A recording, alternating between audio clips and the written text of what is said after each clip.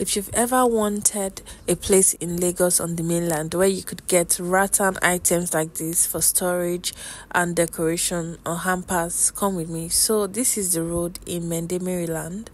We got to the place, we met the first store. These guys, they make them like we actually saw them make them.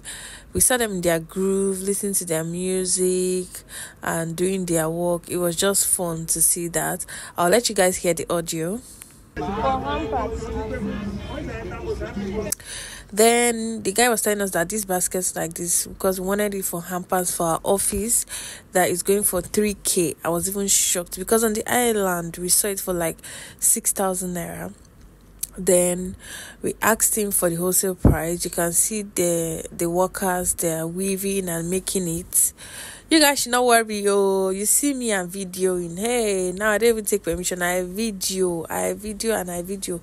I'm not even ashamed anymore. Like i'm videoing you like this. You can't tell me nada.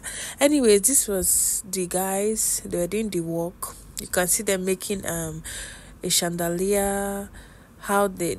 so after everything now we negotiated and bargained and got his number then we moved to the next store guys the price here was too high That's red hand. Mm. How much is it? Seven thousand. For that one like that, seven k. If I buy in quantity, you reduce a bit. Even when This guy. So as you can hear, she was saying seven thousand naira. Meanwhile, the other guy had told us three k. Anyways, we shall checked around. I saw the ones I would love to use in my toilet to put toiletries. This small one, her price was quite affordable. She said it's two five last two k. You can use it to store tissues and everything in your guest toilet. And um we saw this one she said it was 5k it comes in different patterns different colors different designs and um we saw another design of the same um one she called for 5000 this one is square shaped ones we saw the ones that are round we saw the bigger sizes.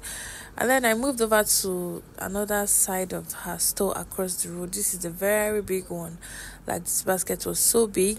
You can see the wraps that they used to do the ham- then went over to price the white net that they used to cover the hampers. This is it a yard goes for 200 naira.